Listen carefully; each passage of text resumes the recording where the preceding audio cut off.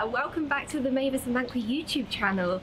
We're just going to be joined by Mavis and we're going to discuss the importance of keeping a work and social life balance. So come on, let's go. Hi. Hello. How are you? Yeah, like your outfit. Thank I'm you. fine. It's very warm outside. Oh, so that's nice to hear from us. yeah, it's a lot cooler in here. Yes. So, discuss with me your work and social life balance. What are your main tips? Life and social work balance. Hey, it's about getting it right. It's about enjoying yourself. It's about knowing when to switch off. And most importantly, having fun. That's my work life balance. Good. I've answered all your questions. We're finished. Yeah, that's great. no, those are some great tips. So, what what would you say is the most important one for anyone who's struggling with the balance? I think one of the main things that we need to do for work life balance is to be able to have a team and to delegate. Once you're able to delegate and get a team, that will can help you to have more time for yourself so that you can basically plan yourself. You can have that work life balance.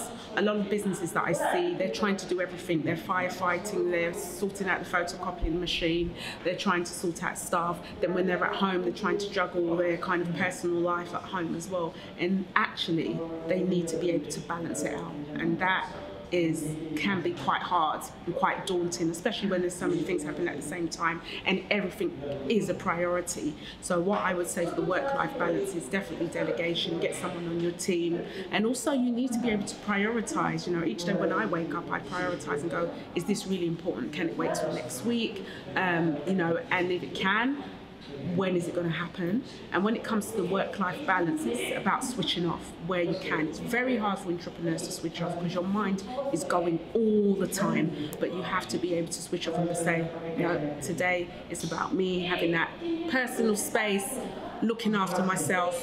Whether it's reading a book, I like to do lots of reading, or just going out and walking around the park and getting that fresh air. Because sometimes, you know, the work life balance doesn't have to be anything, you know, drastic, but it needs to just be normal things that you would do, like going to the park, going for a walk, you know, and having fun with friends as well. And then when it's time to go back to work, you feel refreshed, revived, and ready to continue. Well, I was just going to ask you, what's your favourite thing to do in your social time? Oh, recently it's very interesting. Quite recently, obviously we've had the COVID and we've really been at home for such a long time.